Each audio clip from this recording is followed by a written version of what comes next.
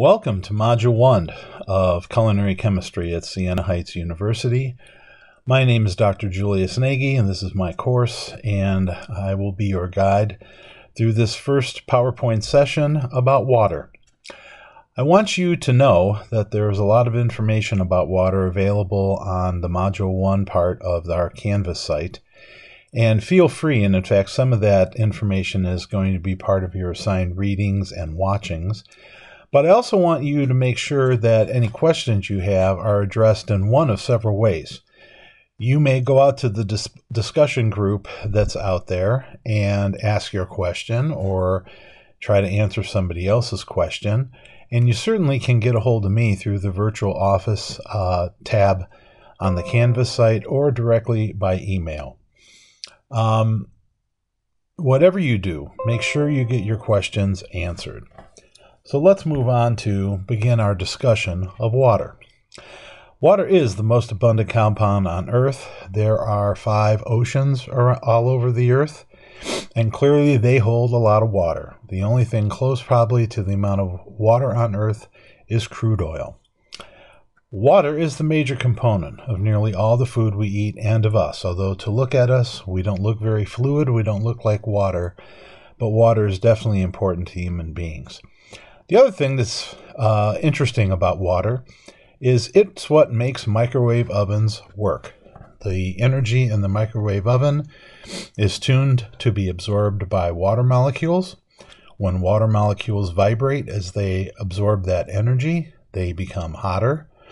And the other thing that happens is the water molecules, since they're right up against one another, can actually uh, create some friction and create some additional heat. And yes, the same kind of friction that you can generate with your hands when you rub your hands together on a cold day.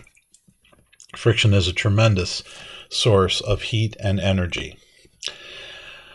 So, the first topic we want to really delve into in a lot of detail is polarity, that water is a polar molecule, which you may have heard in one form or another but we're going to try to explain it in a way that's a little bit more easy to understand. I want you to think of those magnets that maybe you once played with uh, as a child. And many of those magnets are marked with a north and a south pole. Well, polarity in chemical um, substances and molecules is exactly the same concept, except we don't use north and south as in the north and south poles of the Earth. We use positive and negative because they are charges. And just like the north and south poles, the north and south poles are opposite, so they're attracted. A positive charge and a minus charge are attracted, whereas two positives or two negatives are going to repel one another. So, water molecules have polarity, and this polarity comes about from a concept known as electronegativity that was studied and explained by Linus Pauling, one of the few two time Nobel Prize winners that have lived on Earth. Electronegativity is basically a need or a desire for electrons. And just quite simply, without going into this whole topic uh, in a lot of detail, oxygen atoms are more electronegative than hydrogen atoms. And all that means is that they want to have the electrons that are between them a little bit more of the time than the hydrogen atom does. And I've got a series of slides to show that in some detail. You can also think of it as they're hogging the electrons in the bond that's holding the O and the H in water together. And this is a lot like what an older sibling would do to a younger, younger sibling. They might be sharing something, but usually it seems like the older sibling has it a little bit more than half the time. That's the idea that we're after. So, this then is the arrangement of water molecules in a real molecule of water. Why does it have this particular shape? Well, that's beyond the scope of this course, but be assured that water is not a linear molecule of three uh, atoms right next to one another. It does have this shape, which scientists describe as bent. All the other things don't matter. Well, if we have atoms we have to have bonds to keep them together. So scientists will represent bonds by this type of dash. And as chemists learn to do these structures, we learn that a dash is the equivalent of two electrons. And because we're going to talk about the electrons, let's show you those bonds in the more obvious or the more real format where there are two electrons between each oxygen and hydrogen. And as you see at the bottom, th this is the geography of a covalent bond, where the electrons are shared. They're equidistant from the hydrogen and from the oxygen. Now recall the electrons have a negative charge. And if a water molecule had the electrons balanced in this way, actually, it wouldn't be polar. But because of that electronegativity that we talked about, oxygen wants to have the molecules, more the electrons actually, more than 50% of the time. So the effect of electronegativity has me put the electrons in this fashion, where they are both closer to the oxygen, further away from the hydrogen. But please realize this is only this doesn't happen 100% of the time. The electrons do go near the hydrogen atom. It's just a lot less than half the time. All right, so the electrons are still shared, much like you would share something with a friend, but it's not always a 50 50 sharing of things we share with friends or siblings. Sometimes the sharing kind of flips back and forth. Here, the sharing is always going to be where the oxygen has the electrons more than 50% of the time. Because the oxygen has the electron more than 50% of the time, we can go to this slide where since the oxygen does have the electrons more than 50% of the time, as we say at the top of the screen, this little symbol here is a lowercase Greek letter delta, and for a scientist, it means a little bit. So this symbol says that the oxygen is a little bit negative, and so a water molecule can be electronically neutral, then the hydrogen atoms, as denoted by this symbol, are a little bit positive. This is where the polarity of a water molecule comes from. It's this separation of charge that is always in place. Now, why is this important? Well, it leads to another important concept called hydrogen bonding. And because all water molecules have the oxygen end partially negative and the hydrogen ends partially positive, they form a network. Now, this network is not bonding. It is not a bonding situation. What it is, is an electrostatic network. And all electrostatic means is positive and negative things associate with one another. You'll notice that I also have the word dynamic in here and that it is always changing. This can be a difficult concept to explain, so let's try let's try a couple of pictures. Here I have oriented about 10 to 12 H2O molecules so that the negative oxygen sides are associated with the positive hydrogen side of a neighbor. So you can see as we go through this network, these water molecules are all connected to one another in some way. And this happens no matter how many water molecules there are. Because it turns out in a drop of water, there are about 300 billion trillion water molecules just in a drop of water. It's a tremendous number. So we said we are going to talk about a dynamic network. Well, what's a dynamic network? Well, if I could take a picture of the network, the first picture would be maybe what you see on the screen. And then the next instant, I would get this picture where everything is still connected, but it's connected in a different way. And this goes on continuously. And this is a word, dynamic, that scientists use to talk about a fluid, ever changing situation, but it's always going to be water. So, to summarize, the hydrogen bonding network really is kind of a misnomer that it's not bonding, they're not sharing electrons. In this setup and in this setup, it's a purely electrostatic attraction with no sharing of electrons, and that the partners continuously change. And if it helps you to understand the partners changing or dynamic, think of a square dance where everybody is enjoying themselves, everybody is dancing, And the caller will say, change your partner, switch your partner. If you have ever seen a square dance, you know that the partners change pretty much continuously. And that's the kind of dance that's going on among water molecules in a drop or a glass of water. So, moving on from that network, next thing we wanted to talk about is how hydrogen um, bonding enables the certain molecules to dissolve in water. And you may have heard somewhere along the course of your life the phrase like dissolves like. And you should understand what that means a little bit better when we get through these next few slides. So you have already learned in this presentation that water is said to be polar because of the slight separation of charge between the oxygen being slightly negative and the hydrogens being slightly positive.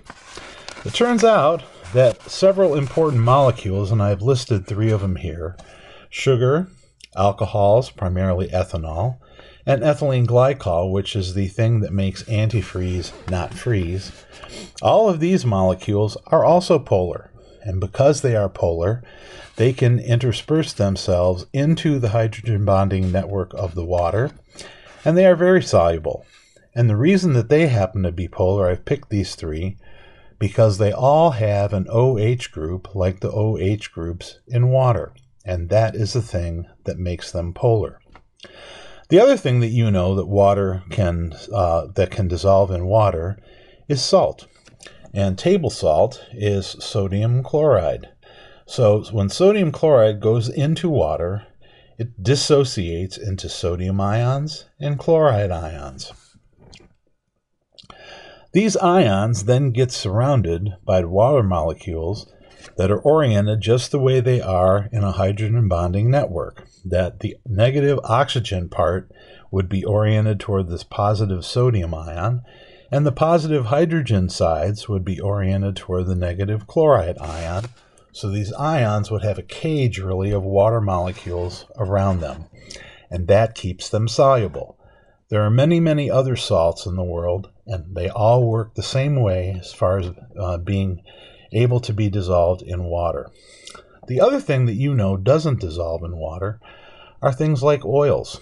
If I pour canola oil onto some water, the canola oil is going to sit on top of the water, and no matter how much I shake it, it's always going to separate into two layers. The consumer product that's the best example of this is Italian salad dressing. That needs to be shaken up before it is poured on the salad so that you can get all the flavors from the water phase and all the flavors that are in the oily phase. Next, I want to talk about some of the interesting things that happen when water freezes. It turns out that some of you have some experience with the pipes in your house freezing, and then the pipes leaking as the water begins to thaw. Because it turns out that water expands about 9% upon freezing. Now, why does it do this?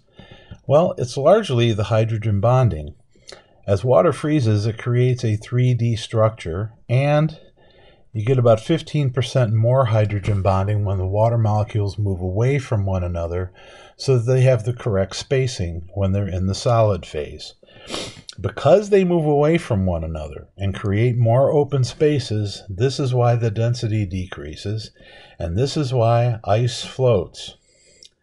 Now, it's nice that ice floats in the middle of summer when your ice cold iced tea has ice right at the top where you're drinking out of the top of it because that's the coldest part. But I want you to think for a minute what would happen if ice sank? So just Think about the world you live in and maybe some of the things you do in the great outdoors. What would happen if ice sunk?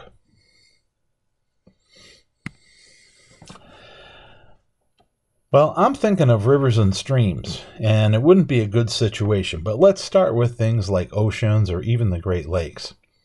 They have so much water in them that unless there was a very cold snap for a very long time, it's unlikely that they would freeze over.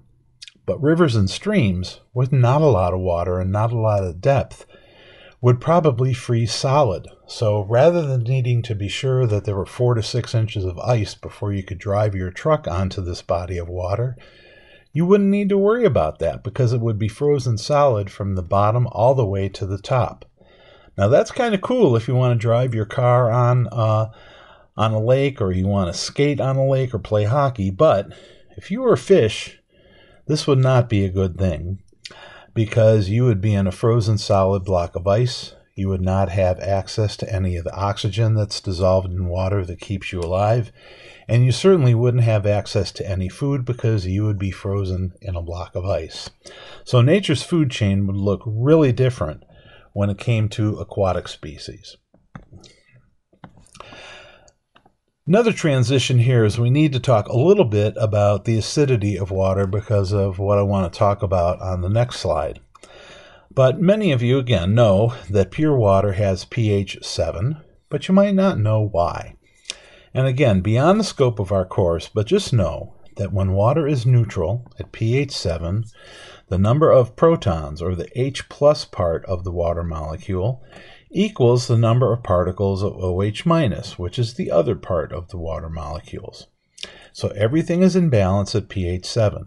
If I have a material that is acidic, all I have is I have more of these H plus groups, which are the acidic groups in water, and I have more of them than hydroxide ions, the OH minus ions. Conversely, for a base, it's the uh, exact opposite. I have more of the hydroxide ions than I do of the H plus ions in water. I wanted to get to that because I wanted to talk a little bit about the global warming crisis and where the scientific data says fossil fuel consumption is a big part of it. Now, you may know that when we burn fossil fuels like C8H18, which happens to be octane, and we burn it in oxygen, we produce a lot of carbon dioxide and we actually produce a lot of water. But notice the ratio here. For every molecule of octane that gets consumed by combustion, we produce 8 molecules of CO2. And this ratio is clearly not to our advantage. The other thing that happens is when CO2 is in the atmosphere, Carbon dioxide can actually dissolve in water and it forms this species, H2CO3, which is known as carbonic acid. You actually have probably consumed gallons upon gallons of carbonic acid because it's the acid that's in carbonated beverages. When CO2 is added to a beverage mixture, it carbonates it. And that very first taste that you get when you pour a pop in your mouth, where your tongue it's almost sharp, it almost hurts with certain pops, it's so sharp, that's carbonic acid. And if you would open up that carbonated beverage and leave it overnight without the cap on, you come back the next day, it's much sweeter, and we say that it's flat because it has no bubbles, right? Well, the bubbles are because the CO2 is gone, and it's much sweeter because that acidity, that bite into your tongue is gone because the carbonic acid left when the CO2 left. Well, when this carbonic acid forms in water, it raises the acidity, which lowers the pH of a body of water. Well, when this first started 40 to 50 years ago, it wasn't a big deal. But as we've continued to burn fossil fuels and we have more and more and more people in the world, we are now at the point where we're disturbing the aquatic balance. We have barrier reefs that are bleaching out. They're not colorful and pretty, they are white. We have shellfish that are being harvested with very thin shells, all because the pH of our oceans are being disturbed in a negative way. Finally, we human beings are about 60% water, and we get out of kilter very easily. If that number drops by a percent or two, we get dehydrated and we get all of the um, effects of being dehydrated all the way to the point of passing out and possibly dying. So that 60% is critically important to us. Just for reference, I've also added that raw meat is about 75% water and fruits and vegetables are 90% water. And those percentages go down slightly when we cook them by like frying or over a fire of some kind. If we braise them by putting them in boiling water or simmering water, the ratio doesn't change as a whole lot. The other thing you need to know is water rights is one of the things that's going to be an ongoing issue for the future. Sure, we can buy water in bottles, no problem. But the people who put that water in those bottles are getting their water practically free. And they're getting them from places like Great Lakes aquifers all over our region of the country. Um, I think Nestle pays about $200 to get all the water that they get from one of the aquifers here in Michigan. So they are clearly making a massive profit selling Michiganders Michigan water. This is the end of our PowerPoint module on water. Again, a lot of information out on the Canvas page. And please, if you have any questions, don't feel free to contact me either through email or through the virtual office, or put your questions out there in the discussion group and let your peers and I in the class help you figure out your answers. Thank you for listening and watching, and we'll see you in Module 2.